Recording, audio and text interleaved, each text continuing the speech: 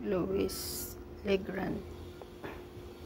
Merlot ayan guys.